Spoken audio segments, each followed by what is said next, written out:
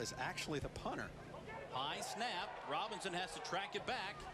And another bad snap on special teams. And Bates again in the shotgun.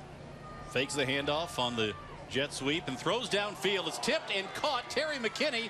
There's the big play for Lee. McKinney is off to the races. 10-5 touchdown. Coach Small's excited. Coach Sutherland. This year. Here's the handoff right up the middle as they loaded up the backfield. Fumble on the play. Scooped up by Bartram Trail. Bartram's got it. Craig Sinclair to the 40-yard line. No advantage there. So first and 10, quickly back to it. He'll hand it off Weatherly right up the middle. He's off to the races.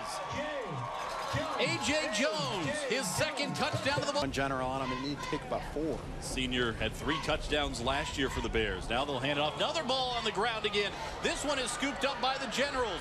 Lee's got it, and they are off to the races on the run.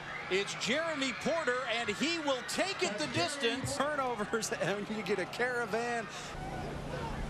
On third down and nine, Dotson almost lost his footing. Regains, throws, has Weatherly, has the first down into lead territory. Weatherly on the cutback, gets a block, and there he goes.